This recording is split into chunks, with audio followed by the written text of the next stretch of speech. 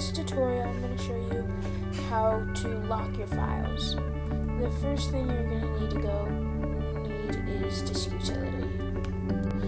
Go to Spotlight and search Disk Utility. And open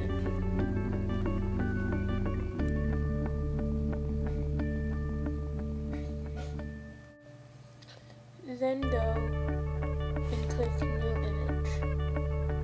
Save as any name. Then choose a volume size.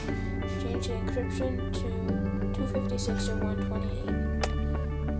And keep it at single partition.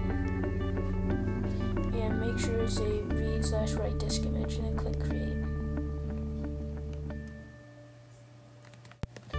Type in a password here, so it's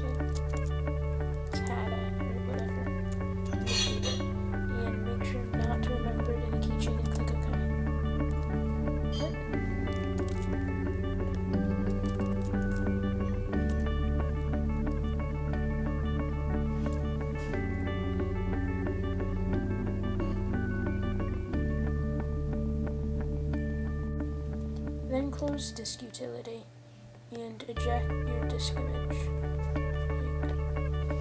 And eject your disk image.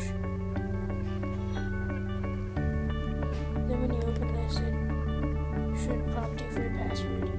And don't remember the keychain. Then you can drag images onto this disk image or any document. Just make sure to eject it afterwards. And then you open it up again.